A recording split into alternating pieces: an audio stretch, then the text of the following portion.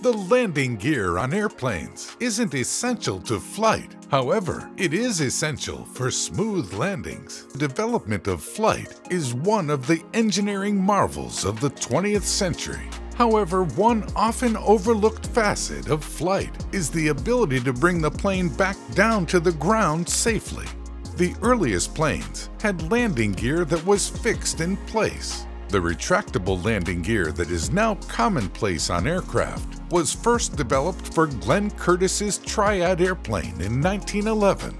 The Triad was amphibious, so the retractable wheels were used to help it take off or land on water.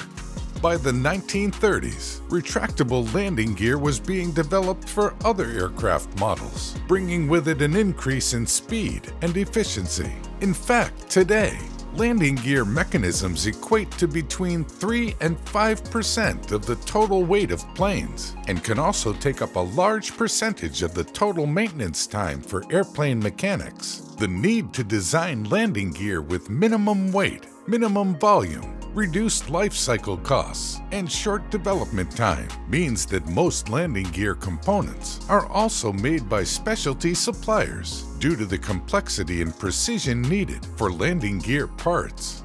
The main strut of retractable landing gear may be machined out of high-strength steel. This strut varies in size on different aircraft and is the most important component of the landing gear. It supports all of the forces involved in the landing process.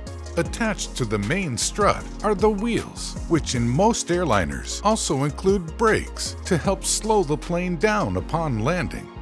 On retractable landing gear, the wheel assembly attaches to the main strut, which can be folded into the plane using internal hydraulic motors.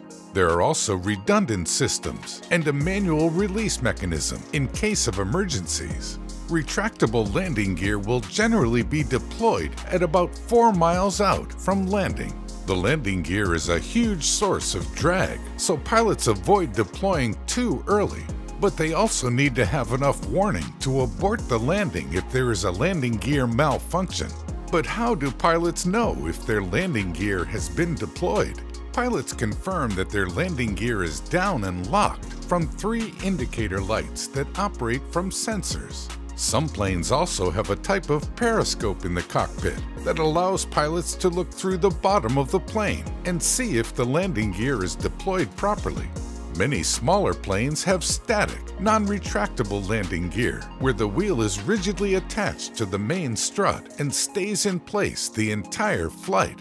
In both cases, the structure of the landing gear and the wheel itself are both made to withstand the significant shock forces from the landing process. Often oleo strut, which is a pneumatic air oil hydraulic shock absorber is used to take the impact. Smaller planes may have solid shock absorbers. However, there are more landing gear types than just static and retractable wheel designs. There are also skis, mono wheels, detachable wheels, floats, and more. All of these different types come into play in different airplane designs and applications. Seaplanes, for example, don't use wheels to land. Rather, they use buoyant skids or floats that allow the plane to glide over the water's surface and eventually come to a rest. Because the skids are buoyant, they keep the plane above water and stable. Some smaller aircraft will also use skis or skids on land. Planes that use this design will mainly be smaller aircraft that land on slippery surfaces, such as snow or ice, gliders, or planes that don't have engines and rather just glide through the air. Some glider designs use a monowheel to land. This is simply a singular wheel mounted on the underside of the aircraft that the plane can touch down on. This works because the craft is so light and normally lands on grassy surfaces, rendering the landing process far smoother than other larger aircraft. One interesting note about wheeled landing gear is that they can't just be filled with any kind of air. Rather, in most cases, they are filled with pure nitrogen in order to mitigate any risk of them exploding and catching fire on landing. However, while filling the tires with nitrogen does help keep them from catching fire, if tires pop, a plane won't come down safely.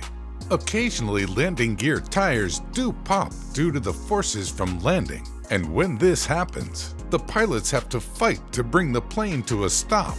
Many pilots have been able to do this safely, but there have unfortunately been deadly accidents due to the failure of landing gear in the past.